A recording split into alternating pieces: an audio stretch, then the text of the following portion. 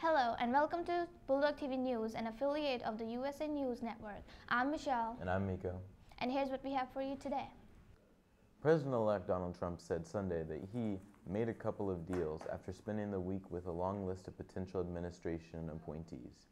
But he did not reveal any more picks. Trump and the Vice President-elect Mike Pence did not drop did drop some hints. Pence said that Mitt Romney was under active and serious consideration to become the nation's next Secretary of State. Trump said retired Marine Corps General James Mattis was an impressive prospect for defensive secretary. On Monday, the president-elect will meet with former Texas Governor Rick Perry, who may have a spot in the cabinet as head of the Agriculture or Veterans Affairs Department or the Pentagon. Perry is one of several high-profile visitors who have met with Trump over the past week, which includes former New York Mayor Rudy Giuliani and New Jersey Governor Chris Christie. Also on Monday, Trump is expected to announce his economic landing teams. President Barack Obama said Sunday he doesn't intend to become the successor's constant critics, but reserved the rights to speak out if President-elect Donald Trump or his politics branch certain values or ideas. Obama suggests once he, he was out of office, he would uphold the tradition of ex-presidents stepping aside quietly to allow their successors space to govern. He helped praise or govern President George W. Bush, saying he could not been more gracious to me when I came in and said he wanted to give Trump the same chance to pursue his agenda, though Obama didn't specify what might trigger him to break silence. He, com he comments suggest he'd be most inclined to weigh in if Trump violated ba basic principles such as minority rights, equal protection, and res respect to civil life. Leaders of 21 Asian Pacific nations ended their annual summit Sunday with a call to resist protectionism amid signs of increased free trade skepticism highlighted by the victory of Donald Trump in the USA presidential election. The Asia Pacific Economic Cooperation Forum also closed with a joint pledge to work toward a sweeping new free trade agreement that would include all 21 members as a path to sustainable, balanced, and inclusive growth. Despite the political climate, APEC noted the rising skepticism over trade and said that the benefits of trade and open markets need to be communicated to the wider public more efficiently, emphasizing how trade promotes innovation and employment and higher living standards. A San Antonio police officer writing out a tra traffic ticket to a motorist was shot to death in his squad car Sunday outside police headquarters by another driver who pulled up from behind, authorities said. San Antonio Police Chief William McManus identified the, the officers as Detective Benjamin Marconi, a 20-year veteran of the force, McManus said he doesn't believe the man has any relationship to the original motorist who was pulled over and no motive has been identified. Police said the search for a maid suspect was still underway early Monday and that no arrest had been made. Tension flared anew across on the Dakota pipeline as protesters tried to push past a long blockaded bridge on a state highway, only to be turned back by a line of law enforcement using a water cannon on a night the temperature dripped into the low 20s and appeared to be tear gas. Sunday's skirmishes began around 6 p.m. after protesters removed a burned out truck on what was known as the Backwater Bridge, not far from the encampment where they've been for weeks, demonstrating against the pipeline. A live stream early Monday showed a continued standoff, with smoke wafting across the scene.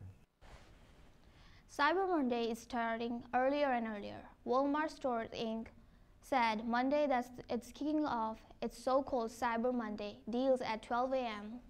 EF ET Friday for the first time ever as it aims to grab customers ahead of its competitions.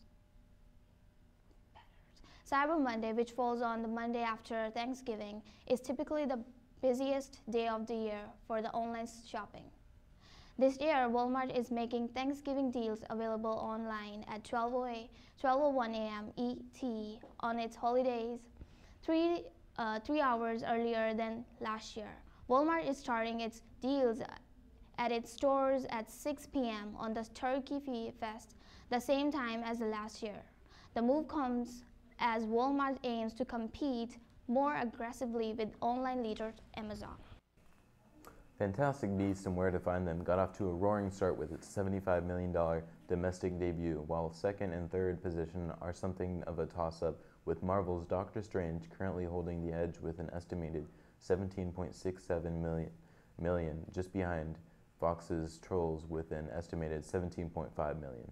The vast majority of films fell below, below expectations, whether including the weekend's two other new wide releases, The Edge of the 17th and Bleed for This, neither of which man managed to top $5 million, as well as Sony's expansion of Billy Lynn's Long Halftime Walk, which is nothing more than a flop at this point. The 2016 American Music Awards feature several pop stars strumming their guitars, Drake making a rare award show appearance, an emotional speech from Selena Gomez, and political moment about President-elect Donald Trump. Drake, who has been who has kept his fair share of awards show in recent years, was the big winner. With the four years, Bieber, who was performed who performed from his tour in Zurich, the Switzerland, who won four awards. Selena Gomez, who lost Artist of the Year to Ariana Grande but won Favorite Female Artist Pop Rock, gave a heartfelt speech outstage, on stage that earned loud applause from the audience. Green Day was on the many big named acts pr promoting new album at the AMAs, including Bruno Mars, The Weeknd, Lady Gaga, Sting, John Legend, and the Chainsmoker. But Green Day got politic during their performance of Bang Bang as band leader Billie Joe Armstrong sang No KK, No Fascist USA, No Donald Trump during the show. The former hottest team in the league might be back in the minds of some people. The Minnesota Vikings outplayed the Arizona Cardinals 30 to 24 with the help of two returns for touchdowns. In the second quarter, Xavier Rhodes intercepted and ran it back for a 100 yard touchdown. And then in the third quarter, Cordarrelle Patterson ran, an af ran the after halftime kickoff back 104 yards for a Vikings touchdown. Sam Bradford picked himself back up after four games of poor performance, throwing for a, man a meager yet okay 169 yards and a touchdown, while Arizona QB Carson Palmer had 199 yards two scores, but also two interceptions. The Vikings will now have a short week of tap as they get ready to face the Lions in a traditional Thanksgiving football game. The Browns stay winless, letting the Steelers roll over them 24 to 9. Dak Prescott continued his rookie season success, throwing for uh, 301 yards and three touchdowns to lead the Cowboys over the 27 Ravens 27 to 17. Lions railed in the fourth quarter, scoring 10 unanswered, unanswered points to beat the Jaguars 26 to 19. Andrew Luck threw for 262 yards and, and two touchdowns as the Colts escaped from the Titans 24 to 17. The Bills come out on the positive end of the low-scoring game, brushing by the Bengals 16 to 12. Jameis Winston passed for 30, 331 yards and a touchdown to lead the Buccaneers over the Chiefs 19 to 17. Eli Manning put together a solid 227-yard, 4 TD start sheet as the Giants beat the Bears 22 to 16. The Dolphins defense rebuffed Jared Goff's debut as the Rams quarterback 14 to 10. Tom Brady passed for 280 yards and four touchdowns to power the Patriots past the 49ers, 49ers 32-17. The Seahawks got their talons in the Eagles with a 26 to 15 victory. And in the Sunday night featured game, Washington are easily defeated Green Bay 24 to 42 to 24 behind quarterback Kirk Cousins big 375 yards and three touchdowns. Carmelo Anthony scored 31 points to lead the Knicks 104 to 94 over the Hawks. The Blazer busted the net 129 to 109 with help from CJ McCollum's 33 points. Despite yet another Russell Westbrook triple double, the Pacers outmatched the Thunder 115 to 11 in overtime, winning their first road game. A last, last second shot was called off and no good to help the Kings sneak by the Raptor, Raptors 102 to 99. The Avalanche buried the Jazz 105 to 91. And the Bulls defeated the Lakers 118 to 110 with a big 40 point contribution from Jimmy Butler. Alexander Wennberg netted a last-minute goal to finish the Blue Jackets over the Capitals 3 2. The Canes blasted the Jets with 40 shots on goals to win 3 1. The Panthers topped the Rangers 3 2 in a shootout at Madison Square Garden. Mikael Backlund scored the, go- the go-ahead goals in the third to put the Flames up 3 2 over the Red Wings.